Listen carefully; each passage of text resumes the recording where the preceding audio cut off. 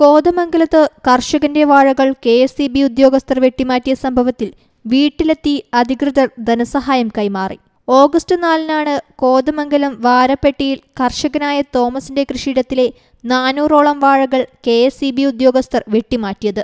ഇരുന്നൂറ്റി ഇരുപത് K V വൈദ്യുതി ലൈൻ തകരാറിലാകാൻ കാരണം വാഴകൾക്ക് തീപിടിച്ചതാണെന്ന നിഗമനത്തിലായിരുന്നു കെ എസ് ഇ ബിയുടെ നടപടി.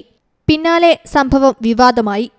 കെ എസ് ഇ ബി ഉദ്യോഗസ്ഥരുടെ നടപടിയെ ന്യായീകരിക്കുന്നതാണ് അന്വേഷണ റിപ്പോർട്ടെങ്കിലും വിളവെടുപ്പിന് തയ്യാറായിരുന്ന വാഴകളാണ് വെട്ടിയത്.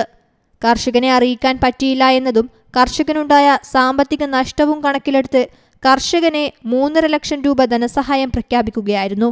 Antony John M L A കർഷകൻ തോമസിന് ചെക്ക് കൈമാറി.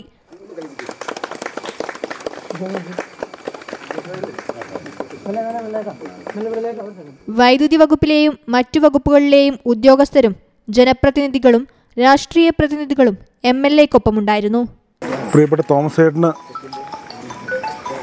സാമ്പത്തിക സഹായം നൽകുന്നതിന് വേണ്ടിയിട്ടാണ് ഞങ്ങളെല്ലാവരും ഇന്ന് ചിങ്ങം ഒന്ന് പുലർച്ചെ തന്നെ അദ്ദേഹത്തിന്റെ വീട്ടിലെത്തിയിട്ടുള്ളത്.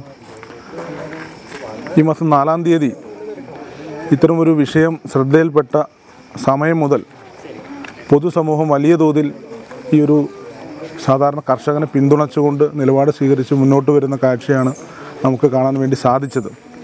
ഇതിന്റെ ശരിതെറ്റുകൾ ചർച്ച ചെയ്യേണ്ട ഒരു സമയമല്ല ഇപ്പോൾ.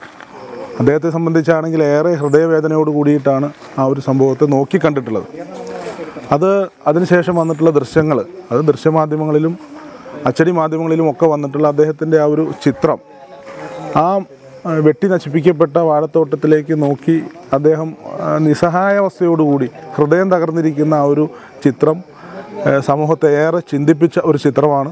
അപ്പോൾ അതുകൊണ്ട് തന്നെയാണ് ഈ ഒരു വിഷയം ഒരു മാനുഷിക പരിഗണന അടിയന്തരമായി അദ്ദേഹത്തിന് കൊടുക്കണമെന്ന് സർക്കാർ കാണുകയും അതിന്റെ അടിസ്ഥാനത്തിലാണ് മൂന്നര ലക്ഷം രൂപ നഷ്ടപരിഹാരം അത് കെ എസ് സി ബി തന്നെ വഹിക്കണമെന്ന് ഗവൺമെന്റ് കാണുകയും അത് മുഖ്യമന്ത്രി തന്നെ വളരെ താല്പര്യമെടുത്തുകൊണ്ട് തന്നെ കൃഷിമന്ത്രിയെയും വൈദ്യുതി വകുപ്പ് മന്ത്രിയെയും ഈ പ്രശ്നം പരിഹരിക്കാൻ വേണ്ടി അടിയന്തരമായി പരിഹരിക്കാനുള്ള ഒരു ചുമതല അവർക്ക് നൽകുകയും അതിന്റെ അടിസ്ഥാനത്തിലാണ് എങ്ങനെ തോമസ് ചേട്ടനെ സഹായിക്കാം എന്നുള്ള ആലോചനയുടെ തുടർച്ചയിലാണ്. നമുക്കറിയാവുന്നതുപോലെ കൃഷിനാശം സംഭവിച്ചതിനുള്ള നഷ്ടപരിഹാരം ആ നിലയിൽ പ്രകൃതിക്ഷോഭത്തിൽപ്പെടുത്തി കൊടുക്കാൻ കഴിയുകയില്ല.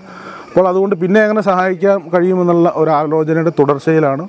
ഇതിന് കെ എസ് സി ബി തന്നെ ഒരു പരിഹാരം കണ്ടെത്തണമെന്നുള്ള നിർദ്ദേശം ഉയർന്നു വരികയും അങ്ങനെ മൂന്നര ലക്ഷം രൂപ ഇദ്ദേഹത്തിന് ഒരു സാമ്പത്തിക സഹായം എന്നുള്ള നിലയിൽ മാനുഷിക പരിഗണന വെച്ചുകൊണ്ട് നൽകാൻ വേണ്ടി തീരുമാനിക്കുകയും ആ തുക കൈമാറുന്നതിന് വേണ്ടിയിട്ടാണ് ഇന്ന് ഈ ചിങ്ങം ഒന്നിന് കർഷക ദിനത്തിൽ തന്നെ ഈ പ്രിയപ്പെട്ട കർഷകന്റെ വീട്ടിൽ ഞങ്ങളെല്ലാവരും എത്തിയത്. സന്തോഷമാണ്. സന്തോഷമുണ്ട് സർക്കാരിനും എല്ലാവർക്കും സന്തോഷമുണ്ട് ഉദ്യോഗസ്ഥന്മാർക്കും എല്ലാവർക്കും ഇത് സന്തോഷം അറിയിക്കുന്നു. നന്ദി ന്യൂസ് ഡെസ്ക് യൂട്യൂബ് ടോക്ക്.